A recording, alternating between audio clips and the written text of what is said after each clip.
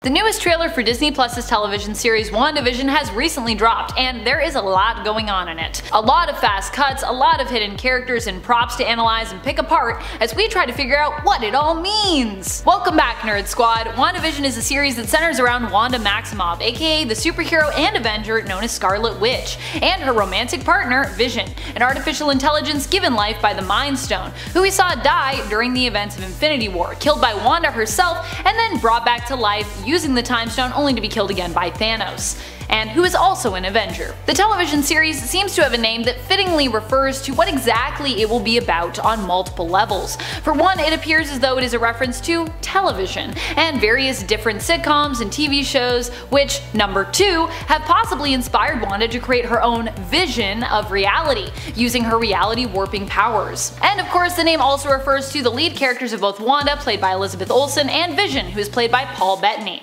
Today we're going to be taking a look at the newest trailer for the series series as we count down the top 10 WandaVision Easter eggs. If you love all things Marvel, check out our exclusively Marvel playlist by clicking on over here, filled with our most marveliest of videos. And be sure to stick around to the end of this list where I will have some bonus content coming your way in the form of comment responses. Alright now, let's get counting. It's my own version of chaos magic. Now we count. Number 10. Bewitched. The more we dive into the classic 1950s to 60s vibe for at least part of the show, the more we get constant parallels to the American television sitcom that ran from the mid 60s to early 70s, Bewitched. This classic show also started out in black and white and followed Samantha Montgomery, a witch who met, fell in love with, and married a mortal named Darrin Stephens. The show follows their crazy adventures as Samantha struggles to fit into the mortal world and to live the life of an everyday normal housewife. Also, if you're like, what about I Love Lucy, Amanda? We're getting to that. Number 9. Agatha Harkness. You may have noticed at the beginning of the trailer if you were watching with subtitles on, side note, this is another reason that I love subtitles, that the nosy neighbor character of Wanda and Vision played by Kathryn Hahn is named Agnes. Many fans think this name could be a covert name for the famous witch from Marvel Comics, Agatha Harkness. Not only does her name seem to be similar to Agatha, but we also see Agnes dressed up as a witch for Halloween in the trailer. Very interesting. Comic fans of Wanda Maximoff will likely note that Agatha Harkness is known for not only being a powerful witch, but also for being a teacher to Wanda when it comes to mastering her hex magic. Number 8. Maison du Mépris. You may or may not have noticed a very focused shot on a wine bottle in the trailer. Wanda appears to be using her magics to make itself pour, giving us a clear look at the label on its front. It reads Maison du Mépris, which translates from French to English as the House of Misery. This is not only telling for Wanda's and Vision's story to come, but could also be a reference to the famously tragic House of M story. Maison Dupree, House of Misery, House of M. Just saying. Number 7. Mr. and Mrs. Hart. Adding a nod to I Love Lucy, another famous retro American sitcom featuring Lucille Ball and Desi Arnaz, who were married in real life for 20 years and had a very rocky marriage. Mr. and Mrs. Hart are characters we see Wanda and Vision having dinner with in the show, and while some believe they could be Wanda's subconscious trying to break through this fantasy world and get Wanda to face reality, it also appears that Fred Melamed and Deborah Jo Rupp's characters of Mr and Mrs. Hart are a reference to a similar relationship that Lucy and Ricky's characters had with their neighbors Fred and Ethel in I Love Lucy. Number 6. The Twins. In the trailer we also spot a shot of Vision and Wanda carrying two babies, each with one in their arms. It appears the show may be featuring Wanda's magically created, yet fake babies, who are later confusingly reincarnated in the Marvel Universe and are acknowledged as being Wanda's children, while also still having their own different birth parents and families. The twins in the comics which Wanda created using her willpower and reality warping powers are known as Billy and Tommy.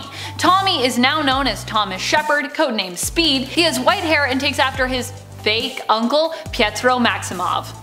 He's super speedy. Billy on the other hand takes after his mother. In the comics he is now known as Billy Kaplan aka Wiccan, a magic user with reality warping powers, who recently got married to fellow hero Hulkling. So cute! Both are mutants despite the fact that Wanda and Pietro had their mutant heritage retconned in the comics. Number 5. The Last Avengers. This version of Vision comes to us from the Last Avengers story series. Here something so traumatic happened one day that Vision basically just gave up on living. He stayed permanently phased and let his molecules drift far apart, making it near impossible for anyone to track him down. However, the Avengers needed him in one final fight, and so the daughter of Wyatt Wingfoot and She-Hulk, Jessie, and Hank Pym attempted to find him so that he could join them in one final stand. Tommy, Vision's son, however, who now appears in the future to have become Sorcerer Supreme, shows up at the last minute with more exact calculations to help them, having been trying to locate his father ever since he went missing years ago, following the tragic event which seems to have happened at Tommy's wedding. What happened to make Vision completely lose it? It seems that Quicksilver killed Scarlet Witch.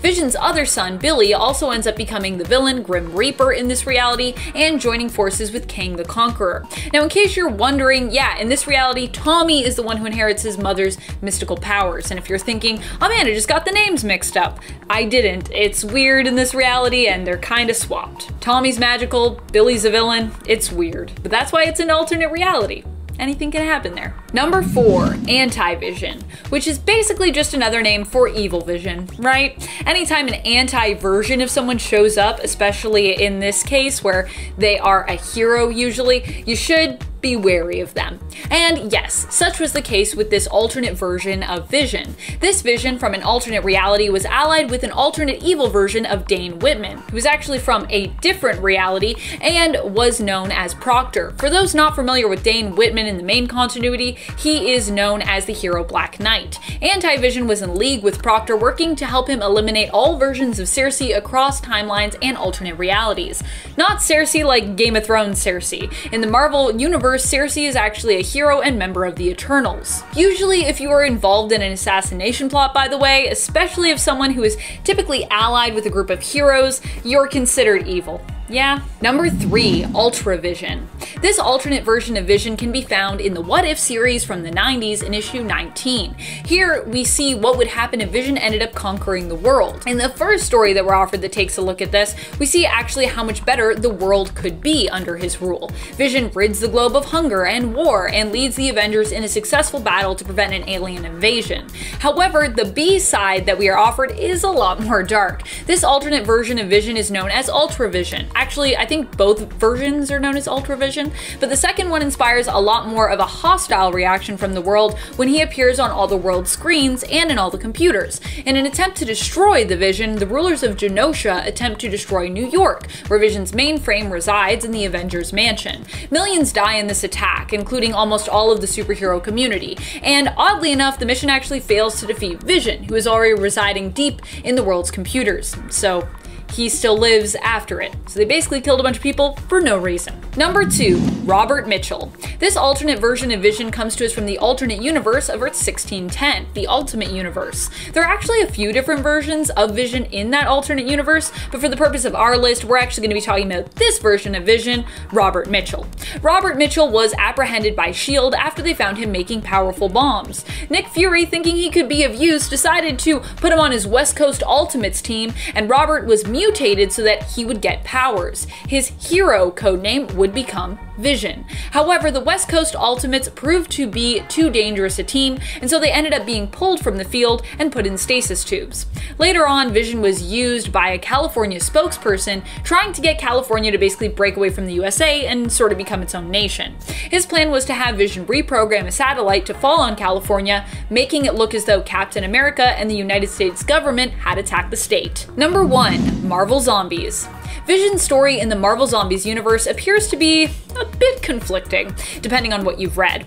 We know he was at the Avengers Mansion when Ashley Williams first shows up, and later on he appears to either have been zombified, reprogrammed to assist the zombie horde, or kidnapped and used by the zombie horde for his parts and capabilities as a synthezoid. He also at one point was recruited by Nick Fury as part of the resistance to fight against the zombie plague in what Fury believed was a full-on apocalypse scenario.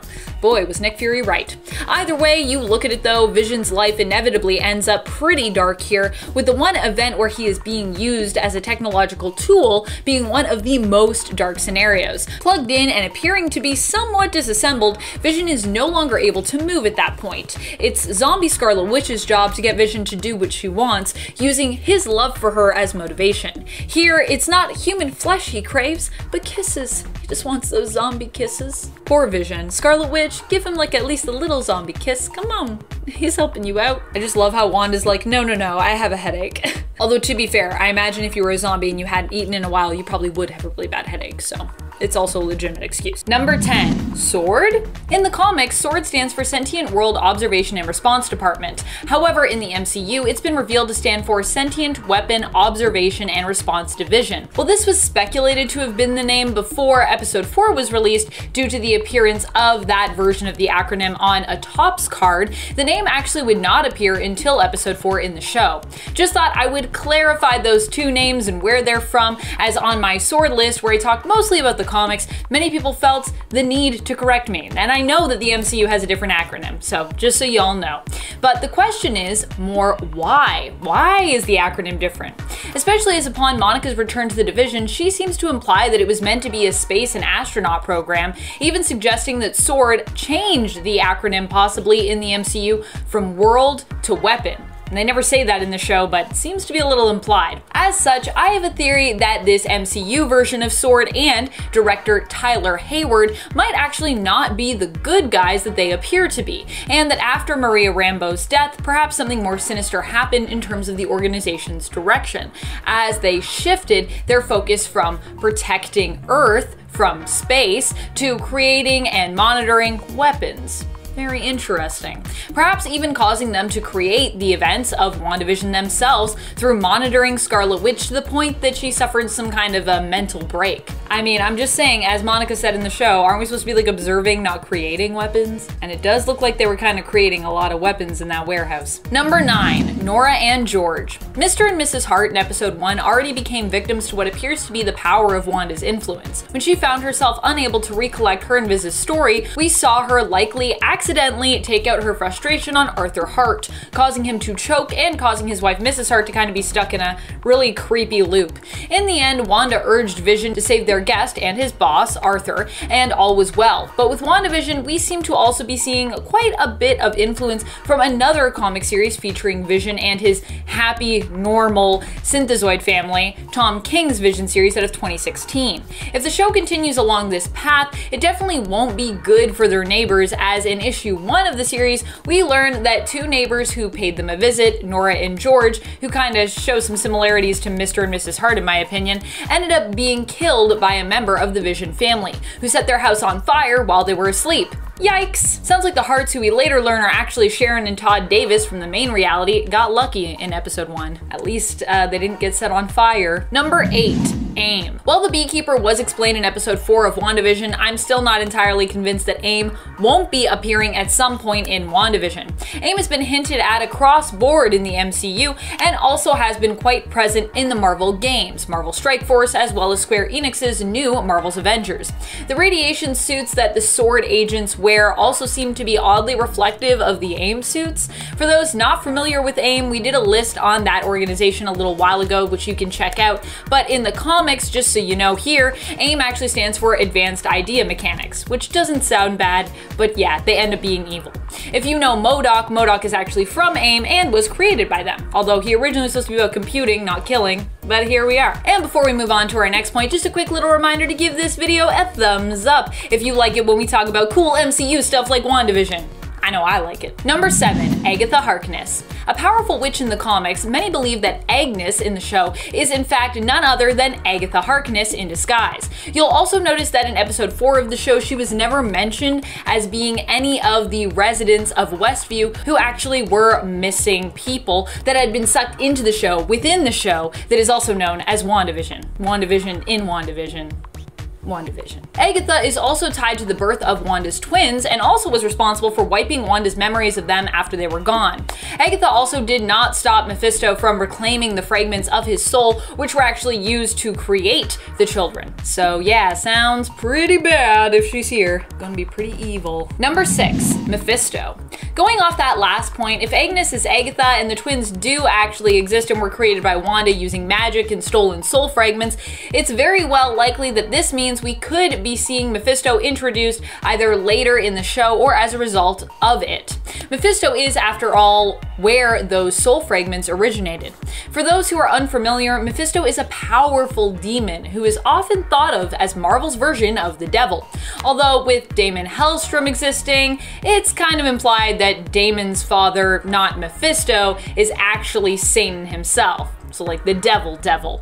All in all, I think just there are lots of demons who claim to be the one and only devil. But in Marvel, in fact, there are multiple demons who rule various dimensions belonging to hell. So there is no real, like, devil just a lot of demons. Number five, Zombie Vision. Near the end of episode two and during episode three, we got a bit of a peek at what could really be going on with Vision, and it appears that Wanda could potentially be reanimating Vision's dead corpse and projecting memories and illusions onto him in order to make him appear and act like he was still alive. Does Wanda know that she's doing this though, or is someone else potentially doing it? Based on what we know of Wanda's character from both the comics and the MCU, it's likely that this is actually Wanda's doing, but that she was simply trying to initially bring Vision back, and you know, based on her unstable powers or chaos magic, something went dramatically wrong, as it usually does when she tries to do crazy magic things. Number four, House of M. A lot of people have theories that this is where we are headed when it comes to the plot of WandaVision that this entire reality is all a fabrication of Wanda's because she had a psychotic break and refused to accept reality. While I definitely think there is inspiration from House of M that the show is taking from, I sincerely hope it isn't quite as cut and dry as all that, and that there is more going on. While fans also have theories about how WandaVision will end, many of us, myself included, believe that instead of Wanda getting rid of mutants, she will bring them into the world. I only hope that Scarlet Witch and potentially Quicksilver, if he returns, will get to be included in what is later classified as mutants once more. Give me my Maximoff mutants, please! Give them to me. And if they come back into the MCU, then maybe they could come back in the comics.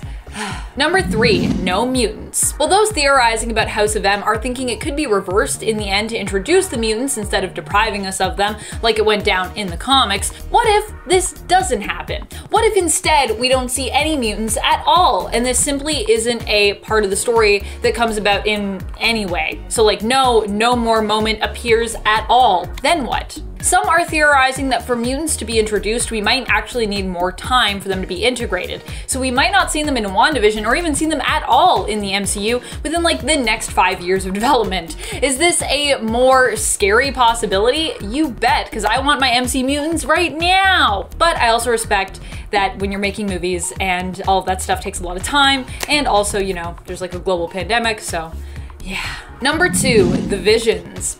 Tom King's 2016 Vision series is definitely one that also seems to have influenced the show. There are elements of horror and themes of uselessness here that we see reflected in it. And don't misunderstand me there. I'm, I'm not saying the show is useless. I'm saying that there is a theme running through it of uselessness or frivolity, similar to the comic series themes, which we see symbolized in objects like the vase that was gifted to Vision by Silver Surfer, a floating vase basically made from a material that's poisonous to flowers, meaning that it's a vase in name alone. Similar to the Visions as a family, it's kind of a symbol for them. And the Visions are also similar to likely the fake family that we see Wanda manipulating reality here to create because you know it's not real. Number one, Wanda becomes the new villain. In the fourth episode of WandaVision, we get to see a part of the scene that we basically missed between Wanda and Geraldine, aka Monica Rambeau, when Scarlet Witch uses her power to banish Geraldine from Westview, kicking her out after she discovers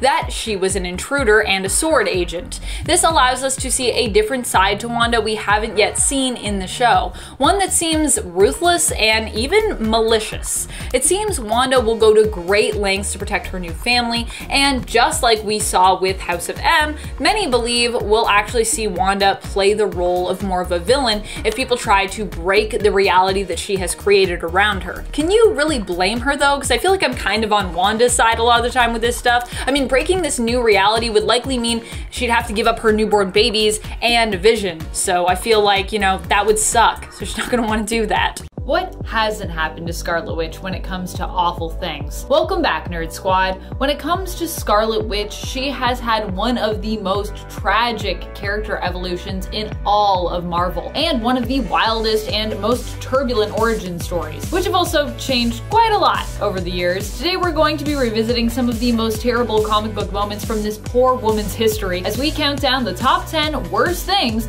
that have happened to Scarlet Witch. And if you want that part too, be sure to let me know in the comments below because there are definitely a lot more horrifying experiences in Wanda's past for us to dredge up if you so wish. For now, here's a top 10 tasting. Number 10, being named traitor. As awful as this one is, it ranks a little lower on our list because, well, Wanda kind of deserved this one. After the events of House of M, Wanda was seen as one of the biggest mutant traitors around, still being believed at this point to be a mutant. Oddly enough, Scarlet Witch was one of the few prominent mutants in comics who has never been part of the X-Men team, and was really only an Avenger. If you're wondering why that is, a big part of it in the later years has to do with mutants hating her due to the fact that she basically wiped them from existence with her wish of no more mutants, which we now refer to as decimation. Well, that and she was initially too busy serving on her father's villainous team of mutants, the Brotherhood of Evil Mutants. Still, although she did earn the title traitor, much of what has happened as a result of House of M happened because of basically how harshly people were treating Wanda. So, although she earned the title traitor, it still feels a little harsh to say that she entirely deserved it. I've always thought of Wanda as more of a misguided villain when she plays that role as opposed to a true and sincere villain in the comics. Number 9. 9. Cast as a villain. To expand on our previous point a bit more, a few of the worst things that have happened to Scarlet Witch usually involve her being cast in some kind of villainous role, despite the fact that she is truly a hero when it all comes down to it. Scarlet Witch only ever wants to do what's best, and usually it's some kind of outward manipulation or force that turns her momentarily evil or causes her to break down and commit some kind of heinous action. It does make for some pretty interesting stories, but it's pretty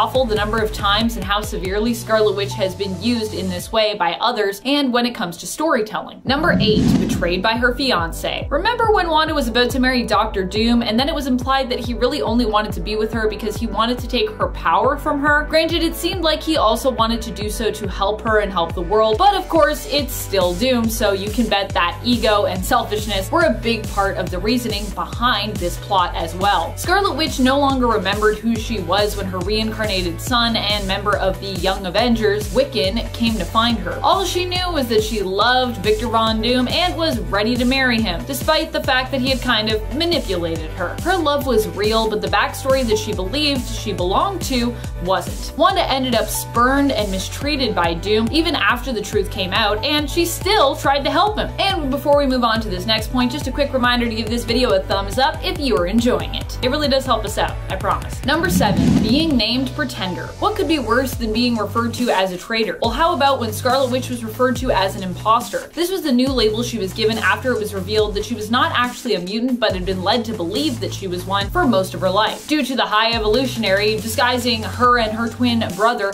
as both mutants after experimenting on them, and apparently giving them powers himself. During the Dawn of X relaunch in an issue of X-Men, we actually see stories being told of Scarlet Witch where young mutants are taught to refer to her as a pretender, someone who posed as a mutant but was not one and could not be trusted. Seems a little unfair considering that Wanda herself did not know her true origin until much later in life. She wasn't lying, she had been manipulated into believing she was truly a mutant and Magneto's daughter. Number 6. Death of her family. Even in the MCU, Wanda has a tragic origin story. In the cinematic universe, she and her brother Pietro were orphaned at a young age after they managed to survive an attack that collapsed their apartment. Their parents were killed in the explosion that decimated their home, but they survived after a second missile landed but did not explode. However, this experience would go on to haunt them for the rest of their days, with the name on the missile being burned into their memories for years to come. And that name, of course,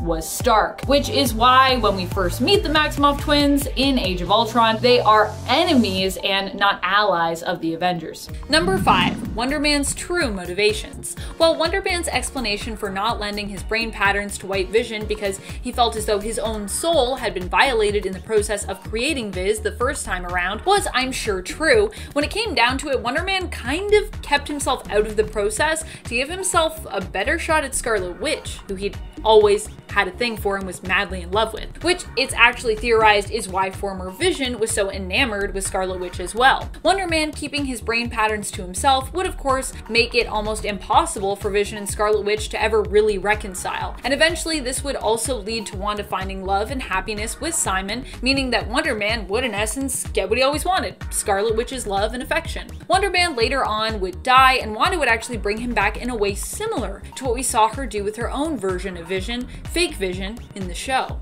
Hmm. Number 4. Arc Reactor? Some theorize that in the middle of White Vision from the MCU's forehead, where the Mind Stone would normally be, he instead has an arc reactor. It lies just beneath the surface of his synthetic skin, making it kinda hard to see whether the triangular light is actually an arc reactor or not. If it were though, it could be being used to continually power White Vision, whereas Wanda's chaos magic taken from the drone was simply the kickstart they needed as to the full power source, similar to what Thor's hammer provided when Vision was initially created in the Age of Ultron. We know that Wanda, after all, has the full potential of her powers unlocked by the Mind Stone, and the Mind Stone played basically a big part in giving Vision life. This would also make a ton of sense that Wanda's magic is connected to that stone, considering that when she destroyed Vision the first time around, it didn't hurt him. He said that he felt only her. It would also make sense as to why she perhaps can't sense Vision when she visits his corpse at Sword headquarters, because he no longer longer has the Mind Stone. They are both connected to the Mind Stone. But if it is an arc reactor supplying the constant power and not Wanda's magic, then what does this mean for their future connection? Also, how did Sword get Stark's technology? Will we potentially see the Armor Wars story arc find its way into the MCU? Number 3. All new, all white Vision. If you are wondering why Vision lost his bright color palette, in the comics it's explained as happening as a result of his biosynthetic skin being removed. It was basically badly damaged during the dismantling process when it was ripped off of him. And that damage meant that now Vision's colors, like his personality, would be much less vibrant. I like to think of this as in stories when people get like super shocked and then their hair turns white. And I think that can also happen in life too, if you experience a ton of shock. Many people have also seen the change in his coloring as symbolism for what was going on for the character in terms of his personal development. Vision would be without his emotional attachment to the information that he had. His programming wiped clean and kind of left him a blank slate, which Hank did his best to rebuild. While Vision had returned, the change in color indicated that he wasn't the same Vision, and implied that he actually may never be who he was again, as he started fresh and started anew. We're gonna see him become someone different this time around, potentially. Number two, Vision's marriage. White Vision still respected Wanda and their relationship, but he couldn't love her. It wasn't possible due to his lack of emotional response. This caused a great amount of distance to open up between the couple, and put a lot of strain on their relationship. Eventually, the two would break up, with Vision heartlessly doing so over the phone, asking Wonder Man to kind of pass the message along, basically to Wanda while she was in recovery. We see this difficult time in their relationship revisited in Tom King's Vision when Scarlet Witch pleads with Vision to explain what has happened to him to their children, and Vision basically responds that they're no longer his children. You can check out this heartbreaking moment in issue 7 of 2016's Vision series, and the brutal breakup moment in issue 63 of Avengers West Coast, the renamed but continuation of the 80s West Coast Avengers series. Avengers West Coast, I feel like, is a, a weird name change that they did, but hey, it happened. Number 1 Vision Quest. If you really want to get up to speed about exactly how White Vision came to be and was resurrected and created, an important story to touch on in the comics would be the West Coast Avenger arc Vision Quest. This story took place from issue 42 to 45 of the 1985 West Coast Avengers comic series. And if you've been checking out all the lists, they've probably brought it up before, but yeah, you should go and read it. Seriously, go back, read it, check it out. It follows the journey of Scarlet Witch as she searches for her missing husband and discovers that he was kidnapped and dismantled. We then see Hank Pym and Wonder Man do their best to reconstruct Vision and follow along as a new version of him is reborn. For the beginnings of this chapter in Vision's life, this is one of the best places to start. And then you can kind of go out from there, because yeah, there there is quite a few uh, white vision things that happen after that. You wanted to learn even more about Wanda's weird backstory? We got you. And get ready because it is about to get weird indeed. Welcome back, Nerd Squad. While Wanda has had a life of tragedy herself, she's also caused her fair share of tragedy for others. And she's also had to deal with some pretty awkward and awful moments throughout her life. Moments that even can give us a better understanding of perhaps just why she herself has caused some of this tragedy for other people. Let's take a closer look at some of these perplexing moments and get to know Wanda a bit better as we count down the top 10 Scarlet Witch moments that made us say, WTF? Let's get to it. Number 10, Mastermind woos the Scarlet Witch. If you go way, way back in the comics, back to the very beginning of X-Men, you'll find out all about the first person to compete for Wanda's heart, way before Vision was even in the picture.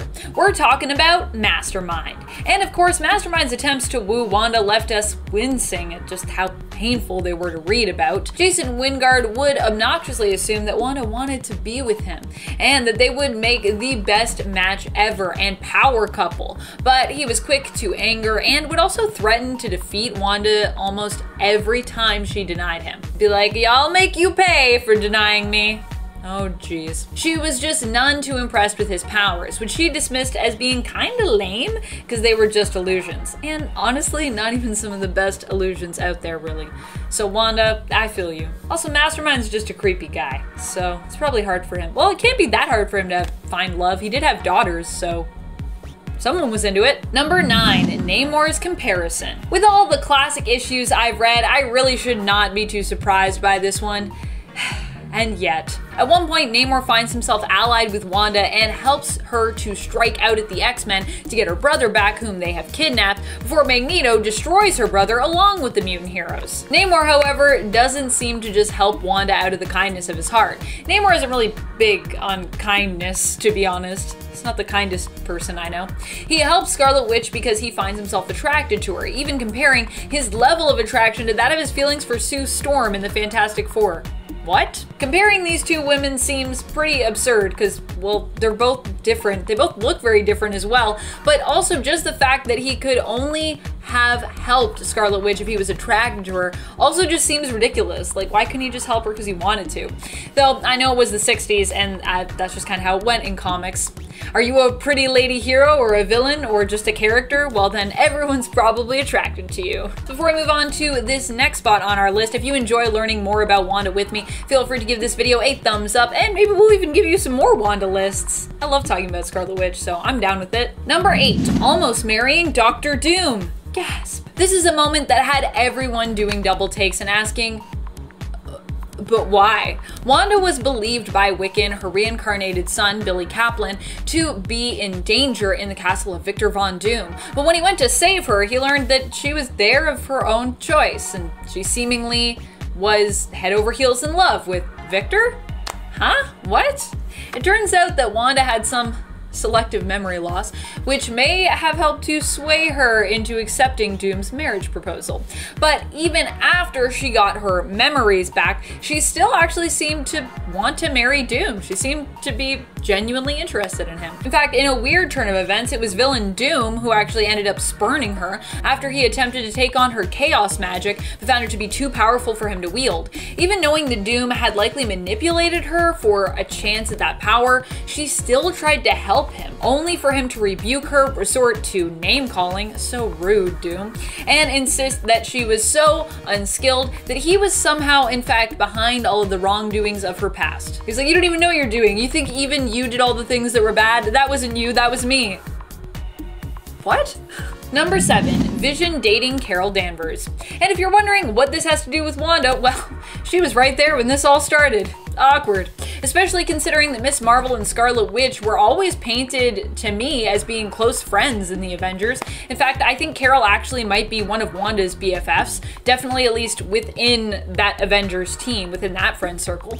After Vision and Wanda were no longer together, Vision decides to ask Warbird, aka Carol Danvers, out right when Wanda and Carol are in the middle of some playful banter. Hmm.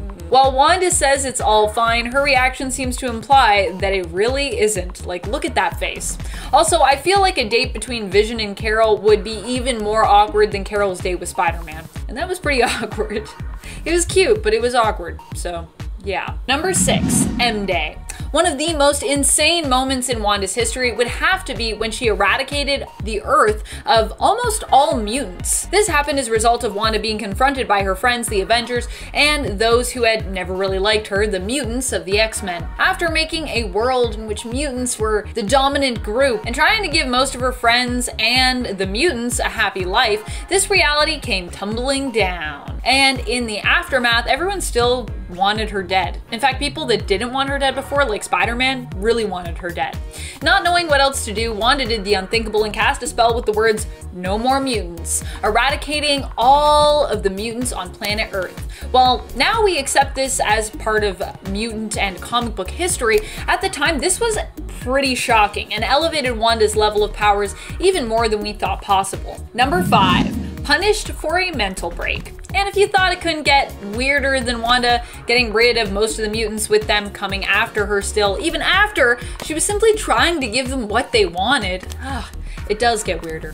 Let's rewind a bit to talk about another shocking moment in Wanda's history around House of M when her friends and the mutants had a meeting to decide what to do about Wanda what to do. The Scarlet Witch at this point hadn't made the House of M reality yet, but was mentally suffering, and Professor Charles Xavier was no longer capable of containing her unpredictable powers and dangerous mind so dangerous, so crazy.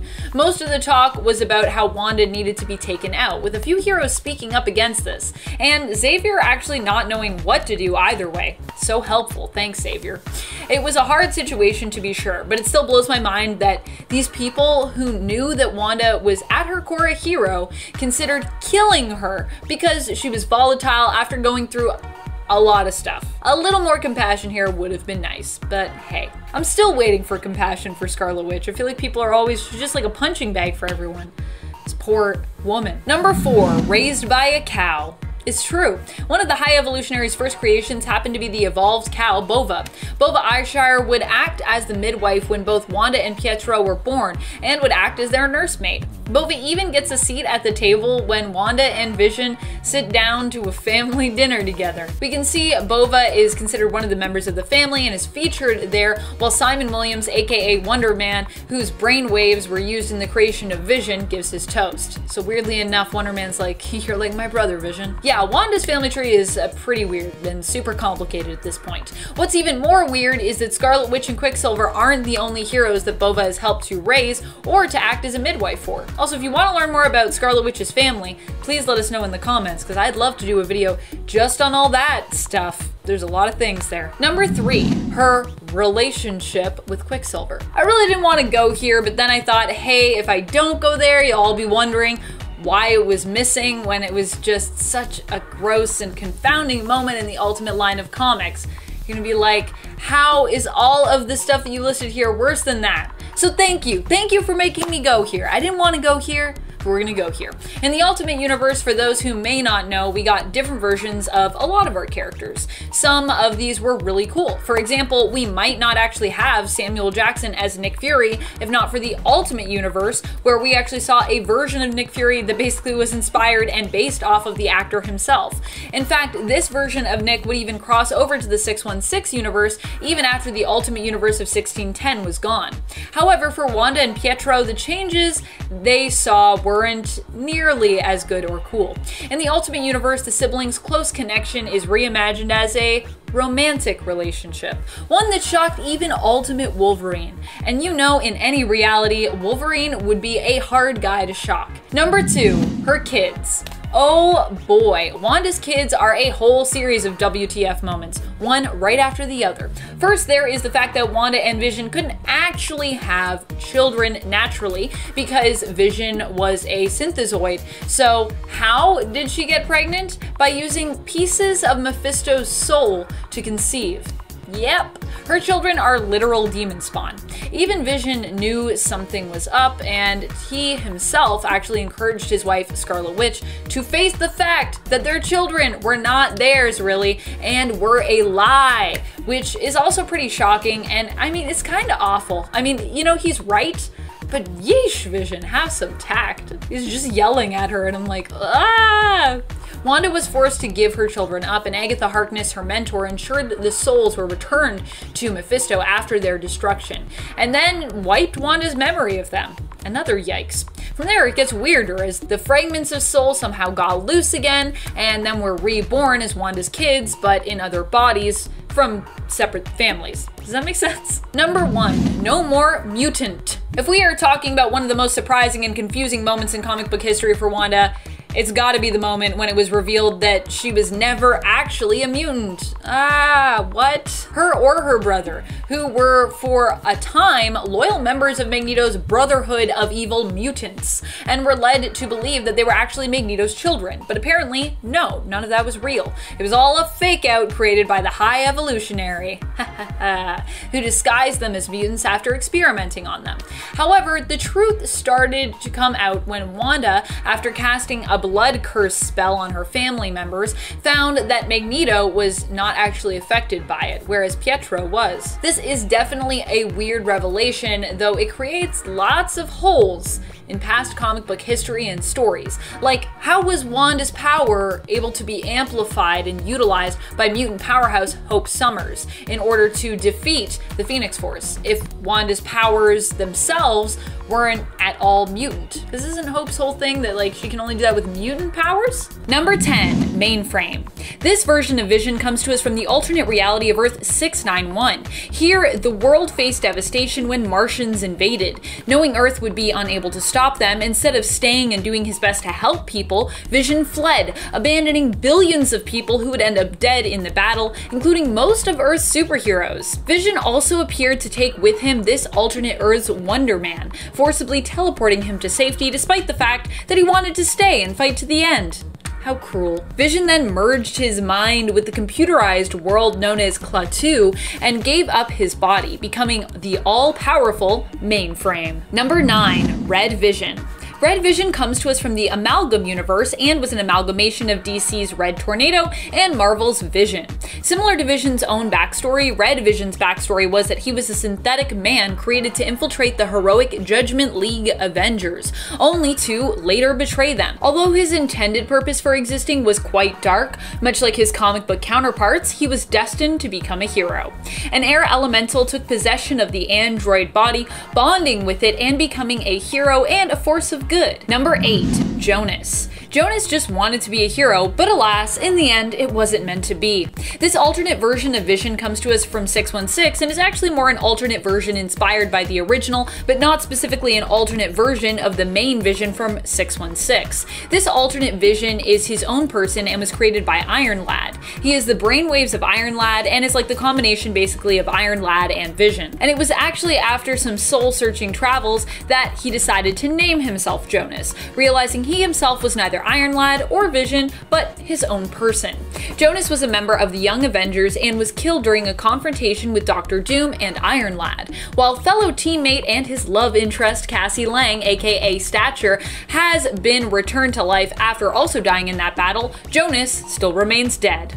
Sad. Is it also dark that, like, no one has brought him back yet? And before we move on to this next point, just a quick reminder if you love learning more about Vision and who doesn't, to give this list a thumbs up. When you like things, it tells us that you want more content like them, so it is really helpful. And it also just helps us out here at the channel, so thank you. Number 7. MCU. Yep, the Marvel Cinematic version of Vision is not much brighter than any of the others out there. In this reality, Vision was created by Ultron just like in the comics, but instead of Vision being like his son, made to destroy the Avengers, he was meant meant to be a form for Ultron to actually occupy. Stealing the body of what would become Vision, Tony Stark and Bruce Banner managed to upload what remained of Tony Stark's AI, Jarvis. What was born out of that body and AI was something new. The new being took the name Vision and agreed to help the Avengers in their quest to protect humanity and defeat Ultron. Vision would later be killed by Thanos, and the way he went was pretty dark. After Princess Shuri of Wakanda failed to safely remove the Mind Stone in time, Scarlet Witch,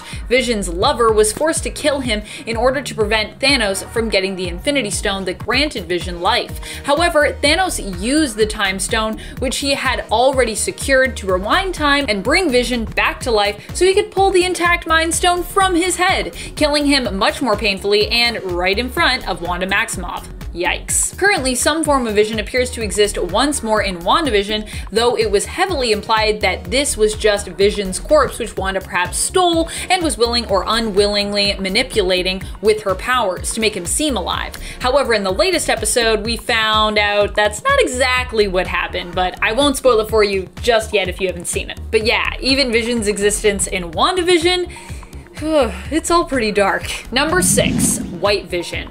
This version of Vision also comes to us from Earth 616, and while he is still the Vision, it is important to note that the Vision is a character who, within his own history, not even including alternate Earths, has had many versions of himself. Why? Well, because he's a machine who is constantly being destroyed and rebuilt in the comics. Who is the iconic White Vision? Well, White Vision is the version most of us comic book readers see and then think of his time on the West Coast Avengers, which is kind of when this all came about. This version of Vision had basically none of the same memories or emotions as the previous incarnation of himself. He came about after Immortus had kidnapped Vision, took him apart, and then put him back together again, causing a dramatic amount of damage to the synthezoid. Number 5 original costume.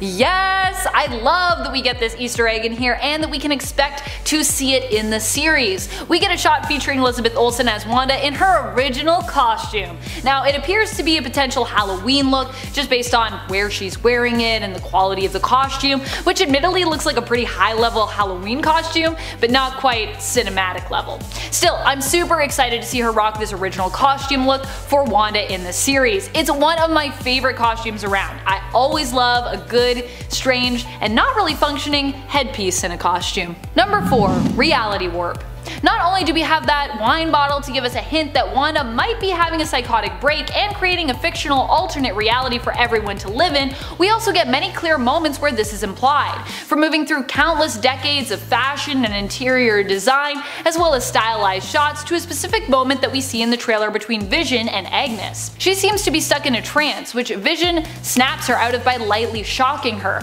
Agnes looks startled to see Vision and asks, am I dead? Vision, puzzled, answers no, why? And she responds, cackling, because you are.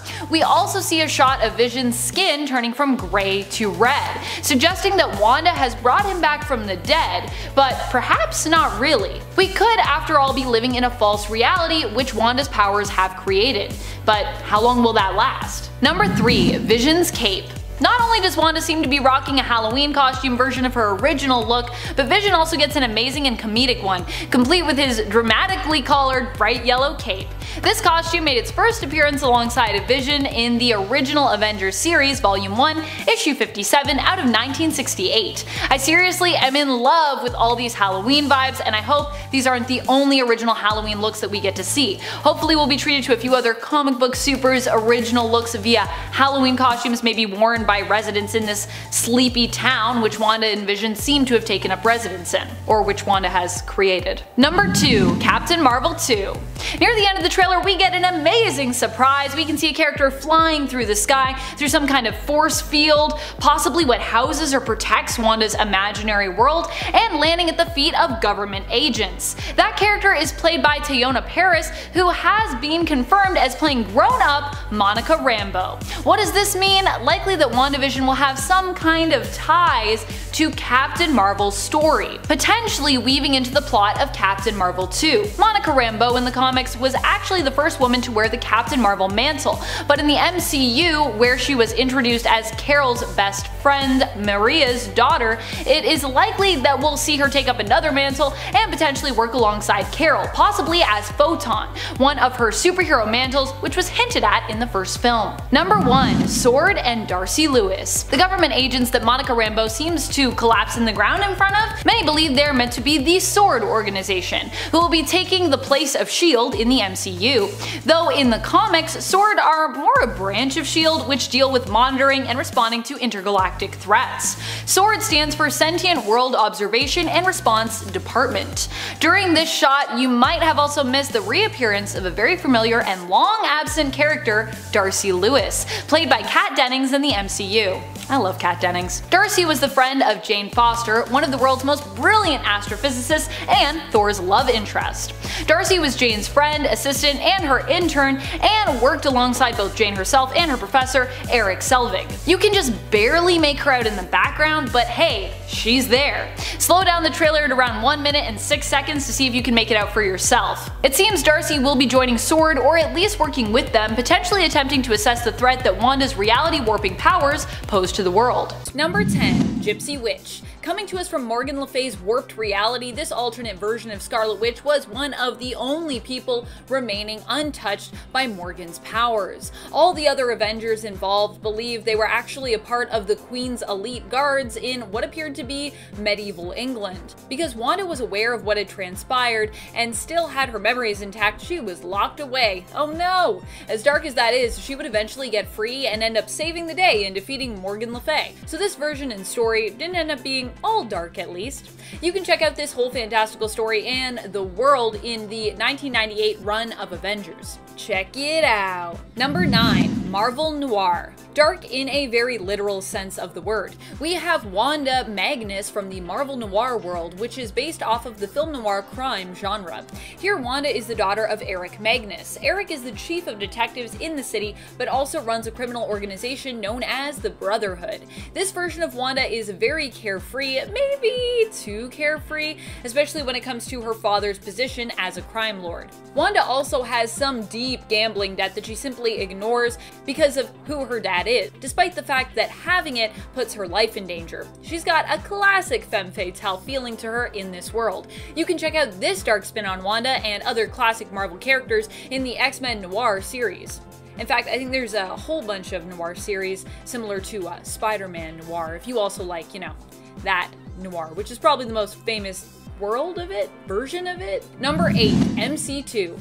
Wanda had it pretty rough in the MC2 alternate Earth of 982. Here she ends up in a coma after attempting to help her fellow heroes confront a very dark and evil alternate Earth led by Doctor Doom. When this mission fails, Wanda ends up being relied upon to close the portal between the two worlds and ends up comatose as a result. But it gets worse. Even when Scarlet Witch is revived here, it's only to be manipulated and used by Loki. Fortunately, she ends up breaking free of his influence and coming to. But for a while there, it was looking pretty bleak for Wanda and some of the other heroes as well. You can check out this last story where the Avengers face Loki in the Last Hero Standing story and miniseries.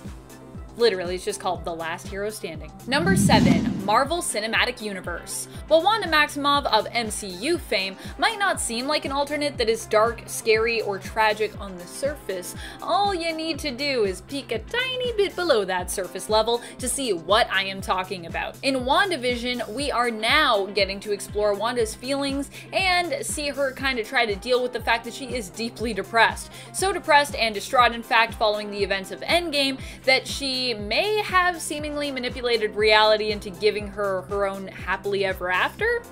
I say may because we don't know for sure yet if someone might be manipulating Wanda into using her powers this way. There are still a lot of questions to be answered at this point in the show. I believe uh, we're on episode 7 right now at the time that I'm filming this, just for context. Regardless, however, it has been established that she has the ability to warp reality.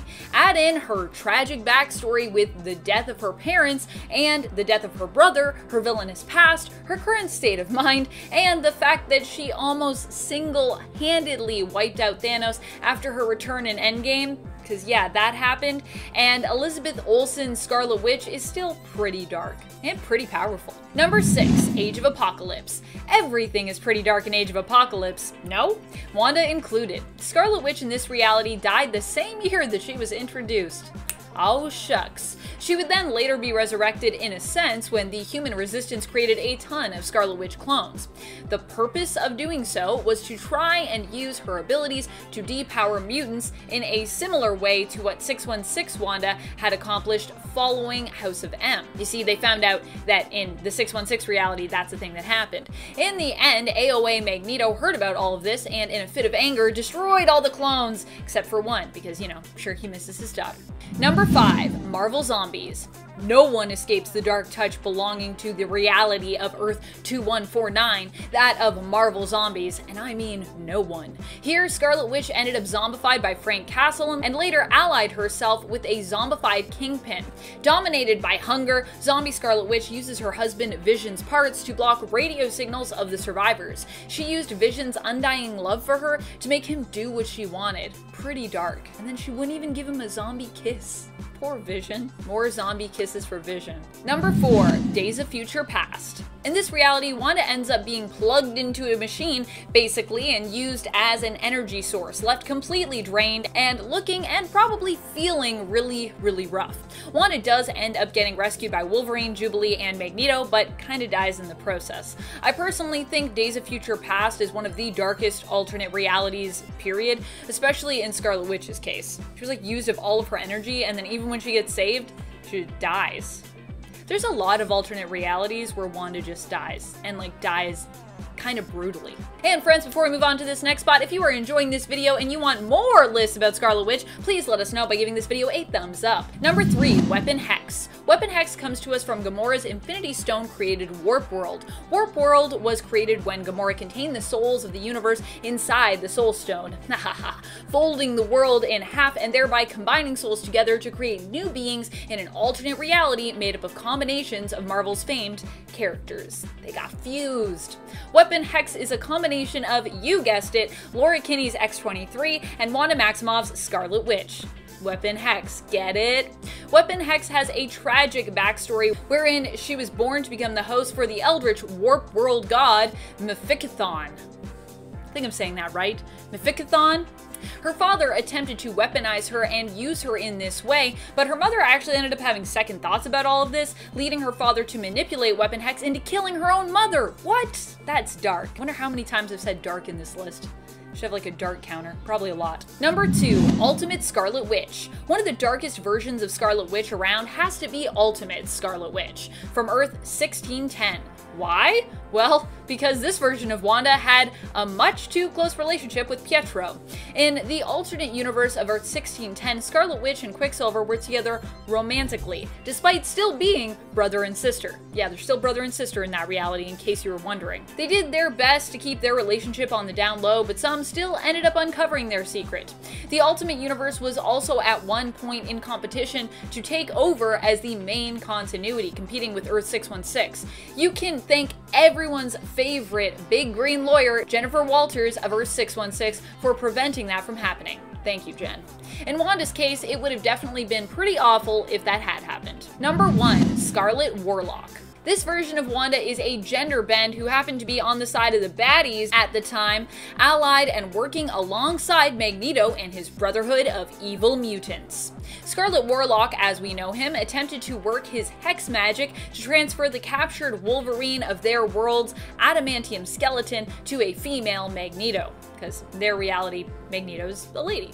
However, being that even in this reality, Scarlet's magic is highly unpredictable, Scarlet Warlock's spell misfired, instead combining Magneto, Quicksilver, Wolverine, and Mesmero, and himself all into one being who later becomes known as the great villain, Brother Mutant. Brother Mutant's goal is to kill all non-mutants on Earth. Yeah, pretty evil. You can check out this alternate version of Scarlet Witch in Exiles 85 and 86 where a team of alternate universe versions of Wolverine team up to try and take him down. Also, just alternate universe Wolverines. It's always fun. Number 10, Canadian Secret Service. Who's responsible in the comics for giving us this version of Vision? That is a complicated question to answer because it actually was a bunch of people who appeared to be someone that they weren't. The people who kidnapped Vision approached Mockingbird initially for her help and appeared to her to be working for the usual secret organization that we all suspect, S.H.I.E.L.D. After she found out their true plot, however, she was locked up and realized based on the appearance of her cell alone that they were actually KGB. Later on, we discovered discovered that it wasn't KGB, but actually a Canadian spy working for the Canadian Secret Service in league with various other operatives from secret services all over the world. Together, they created a group known as Vigilance, who were formed after Vision had revealed how powerful he was when he took control of the world's computers. Hold on, do we even have a Secret Service here in Canada?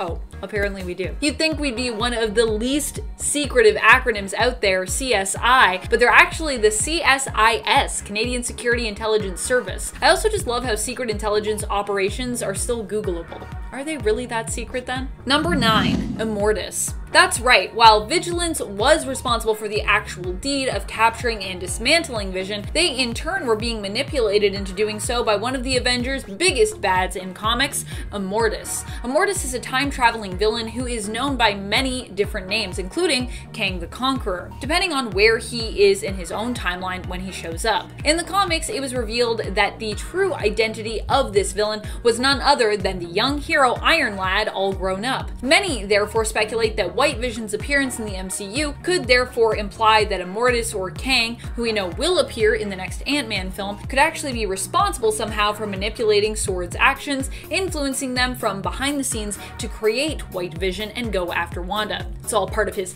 master plan. Since in the comics it was Immortus all along for this plot. Not Agatha all along for this one. I know, disappointing, because I like that song. Number 8. Dismantled scene in WandaVision. Well, I have speculated a few times in the past about what the true identity or allegiance of director Tyler Hayward is in WandaVision. Is he working for or some other version of Kang? Is he part of AIM? Is he Mephisto? This time around, when it comes to a specific scene, though, in WandaVision, compared to the comics, Hayward actually plays the role of Mockingbird. Huh? Near the end of issue 43 of the West Coast Avengers, you see Mockingbird lead Scarlet Witch to where her husband is being kept, only for it to be revealed that he has been completely and utterly dismantled. Oh no. Better a widow. Actually, a much more gruesome scene in comparison to the version we saw in the show, in my opinion. Here, however, Mockingbird isn't trying to keep Wanda from Vision. She's returned to the Avengers team to try and help them after being led astray by someone who she thought worked for S.H.I.E.L.D., but who was in reality using her as a pawn. So a similar role really only in terms of their purpose in that one scene, as Hayward definitely does not seem to want to help Wanda when she bursts into Sword looking to reclaim Vision's lifeless body after the events of Infinity War and Endgame. Well, I mean, I think he does want to help her. He wants to help her bring Vision back, I think, but he doesn't want to, like, give her Vision's body to Barry. He's like, no, no. Two Visions. Or rather, two attempts. That is to say that when Vision is brought back for the first time in the comics after being dismantled, he doesn't actually come back as the White Vision we saw in WandaVision. The first time Vision is brought back by Hank Pym and Wonder Man, aka Simon Williams, something goes wrong, and he kind of has more of like a boiled down Terminator look going on. Like just Terminator skeleton look with like a little bit of flesh. Vision ends up going berserk and actually attacks Wanda when she tries to reach out to him and connect. His emotions are gone and he's kind of a homicidal maniac. Fortunately, Hank and Wonder Man with a little bit of help from Hawkeye managed to get Vision back under control, knocking him unconscious so they could try again.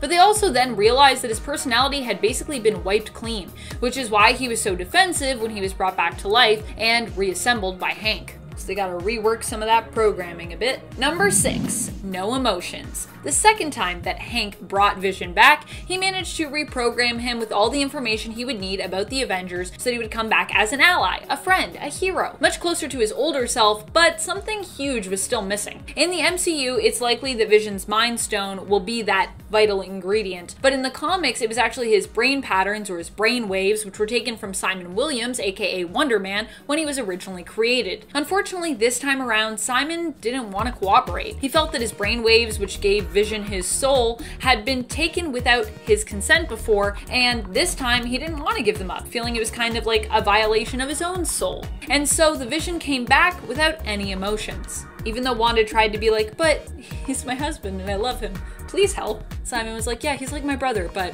no. Number five, having Magneto for a father. At least for the time she did. While in the comics, Quicksilver and Scarlet Witch are no longer considered the children of Magneto, they still had him as a father for many years and across many alternate Earths as well. While Magneto might be good with magnetizing, he is not very good at parenting. Magneto is usually a pretty strict father who has demanded much from his children over the years. I think Wanda, in terms of having a caring parent, was actually better off with her sentient cow mom that the anti-evolutionary created. Number 4. Spell backfire. Even when Wanda tries to do good, she can't catch a break. In the X-Men Empyre series tie-in, Scarlet Witch seeks to right her wrongs by bringing back all those mutants lost in the massacre at Genosha. She is trying to atone for her past and all the harm that she has brought to mutant kind. But poor Wanda can't seem to catch a break. Her ritual to revive the dead backfires and instead simply turns those that she's trying to bring back into zombie mutants, instead of bringing them, you know, fully back to life. To make matters worse, we later find out that Doctor Strange warned her against trying to make amends for her sins this way, telling her she couldn't do what had already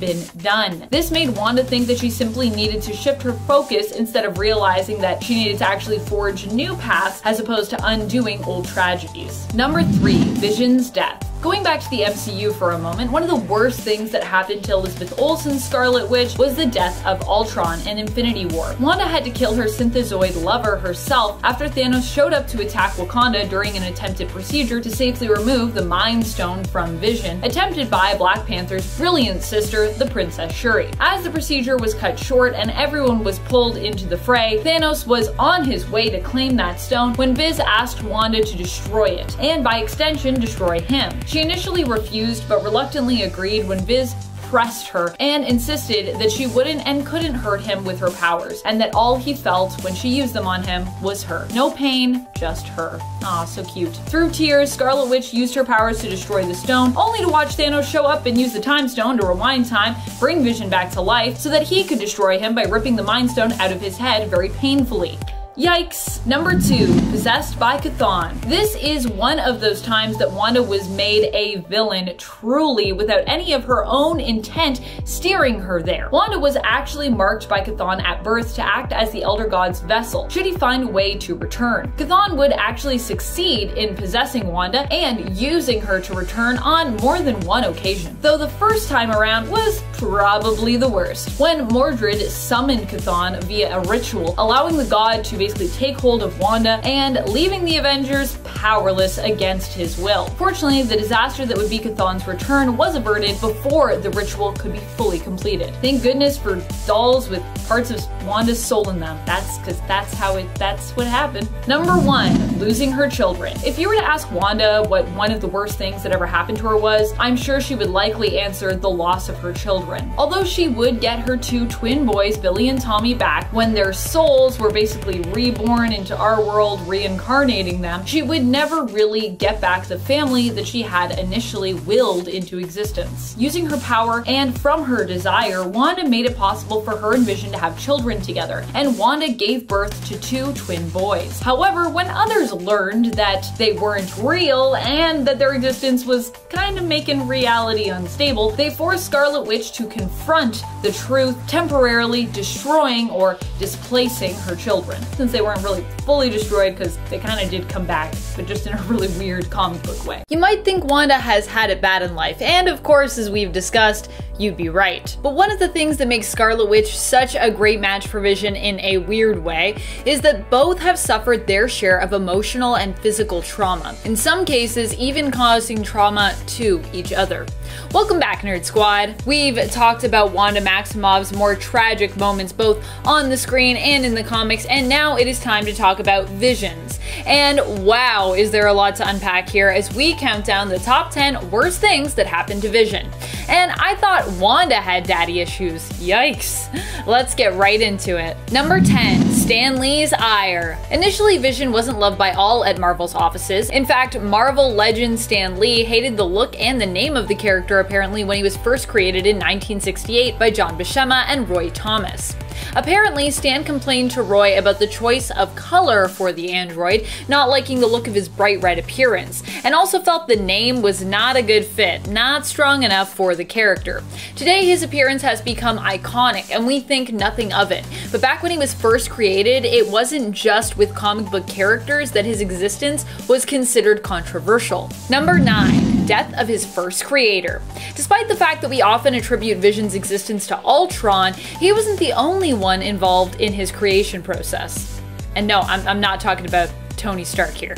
Professor Phineas Horton was forcefully recruited by Ultron into helping him create the synthezoid we later came to know as the Vision. Vision, in fact, was originally given the memories of Professor Horton's previous android creation, which brought on the rage of Ultron, who had specifically told Horton to wipe those memories. He's like, you do it or you're dead. And Horton was like, we'll see.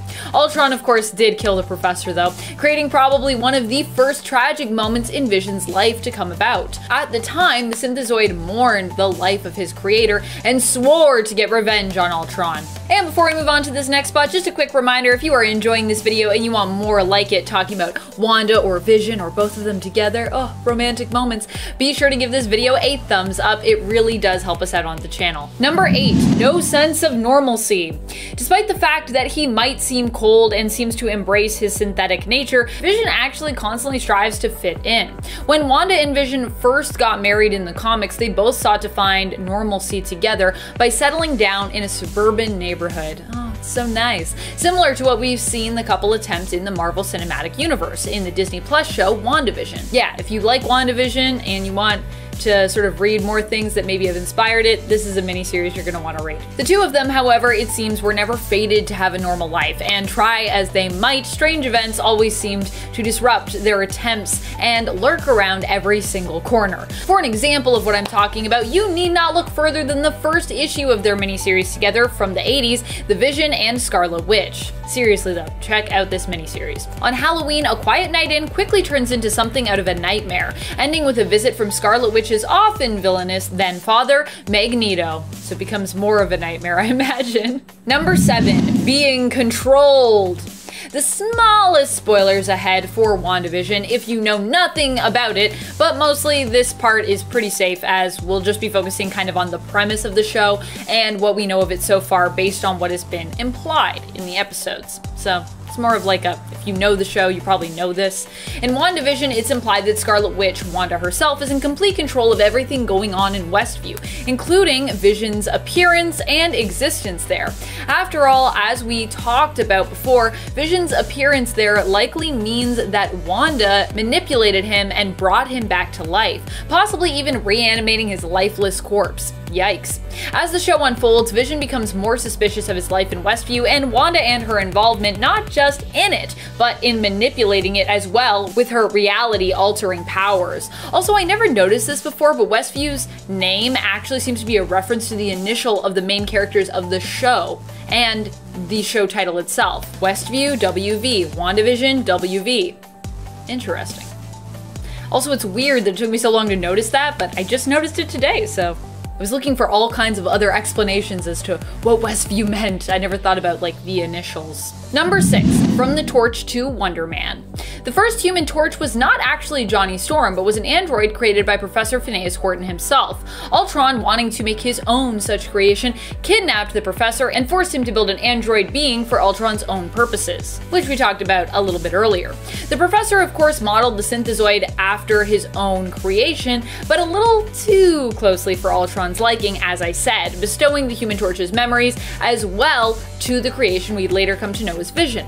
Brought to life, this being attacked Ultron, who had killed the Professor as punishment for his betrayal. Unfortunately, Torch Vision, this version of Vision, was no match for Ultron, and in the end, he actually ended up being reprogrammed by Ultron to follow his orders and was given the brain patterns of Wonder Man. Nothing against Wonder Man, by the way, but sharing brain patterns with that hero would cause lots of weirdness for Vision and for Scarlet Witch as well later on down the line. I feel like if you get to pick who you want to share brain patterns with, Wonder Man's not at the top of the list. Also, it's really weird that like Wonder Man's brain patterns were just lying around Hank Pym's lab in like a little recorder device. Why did you have those, Hank Pym? What's going on? Number five, no one to help. This point has some more specific spoilers for the latest episode of WandaVision, episode 6. So if you haven't gotten there yet, you maybe want to skip this one if you want to avoid spoilers, or if you haven't seen it but you're like, I'm living through the spoilers, man, which is fine. In the latest episode of WandaVision, it's Halloween in Westview as we proceed along our sitcom timeline into the world of basically kind of a Malcolm in the Middle inspired era, which uh, aired actually in the 2000s, despite this episode having a very 90s feel, and despite that series having a 90s feel. Trying to solve the mystery of what's really going on in Westview, Vision lies to Wanda about not being able to join her and the kids trick or treating, due to being on duty for Neighborhood Watch. Now, in reality, he actually spends the evening investigating Westview and eventually finds the town's reality warping barrier, which he attempts to cross, not knowing that this will likely end up killing him. As outside of this altered reality, which it's hinted at is numbered as 2800 in the MCU, despite the fact that I think that number is already taken in the comics, Vision is in fact dead. When he moves to leave the town, we watch as he struggles against the magical barrier, which obviously very much wants to keep him within town limits. Sword watches as he attempts to move into their world, seeing him fall to pieces, slowly dissolving in front of them. And as a handcuffed Darcy Lewis shouts for them to do something, like help this man. But that doesn't end up happening. They just run. In the end, it's up to Wanda to save the day when Billy alerts her that he senses that his dad is in danger. Wiccan to the rescue. Number 4. Manipulated into being a villain. I really do feel for Vision. Most of the most terrible things that have happened to him in the comics or otherwise are honestly my worst nightmare, which is being controlled by other people. In this case, we're talking about when he was sent in to kill the Avengers and seemingly in some kind of murderous trance. Once the team attempted to reason with him, it became apparent that this synthezoid enemy wasn't all he appeared to be, and in fact that he might not truly be acting of his own volition. In the end, Vision would end up becoming an ally to the Avengers, fighting against his instincts to do them harm. They'd actually help him by deprogramming his murderous urges, and he would eventually go on to join the Avengers outright, fighting many times against his creator and father, Ultron many times. Many times. Ultron never stays dead. Number 3. Infected with a Hydra virus. During the events of Secret Empire, Steve Rogers would end up having his whole life history rewritten and be revealed as a long-time sleeper agent for Hydra. Our heroes would, however, find out too late about Rogers' true allegiances true allegiances. And so Captain America would become Captain Hydra, or Hydra Supreme, and would take over the United States of America for the glory of Hydra. But he would also end up recruiting some of Earth's mightiest heroes besides, including Scarlet Witch and Vision. But how did he convince them to join the side of evil? Well, he didn't. For Wanda, Hydra actually awoke Chthon within her in order to take control of her body and make use of her powers. And if you want to learn more about Chthon and that whole thing, you can check out the worst things that happened to Wanda's list where we talk about that a bit more. For Vision, being a synthezoid, they merely infected him with a virus. That was easy. And although Vision tried to fight it, he remained unable to break free and fight against Hydra until near the end of the event. Like the second last issue, I believe, in the main one. Secret Empire number 9. Number 2, Death. While those who only knew Vision from the MCU might think of his tear-jerking demise in Endgame, comic fans know that a fate worse than being destroyed, at least the first time around, awaited him in the comics. Here, instead of Wanda destroying him at his own request, urging her on with words of affirmation and love, Vision ends up being controlled against his will by her, which leads to him ending up in a direct conflict that he doesn't actually want any part of, which ultimately leads to his very gruesome death. Not only does he melt and vomit up silver pods, which transform into Ultron bots, but Overkill comes into play when She-Hulk then decides to go into a rage and ends up tearing him down the middle, which is a pretty epic and permanent kind of on-panel death. Although, of course, even if you get ripped down the middle, that's probably not the end of you, because comics. Vision is still a synthetic being, and he can be recreated. So don't worry, he would be rebuilt and he would return once more. But what a death to come back from. Number one, weaponized. During the events of Avengers Disassembled, which led right into House of M, Wanda ended up suffering from a mental break, and as such ended up turning on her fellow Avengers. You'd think Vision, being one of the Avengers who, you know, is married to Wanda, would be safe, but no. Wanda ended up not only getting him killed, but it was the way in which she did it, I think, that just really cut him deep. She didn't just put him in the right places to be torn apart by She-Hulk, but she actually turned him into into a weapon to be used against his friends and teammates, the Avengers. Vision actually warned them when he came to them that he was no longer in control of his body before vomiting up those pods, which turned into Ultron robot drones, who then attacked the Avengers after their mansion had already been attacked. This was just a real bad day all around for the whole team. When Vision returned to life and Wanda much later came to ask for forgiveness, it would actually be this memory that would prevent him from being able to forgive his wife, Scarlet Witch. He was like, I can forgive the fact that you had a mental break, but you literally turned me against my friends and made me like hurt them, and some of them died. It's like pretty crazy.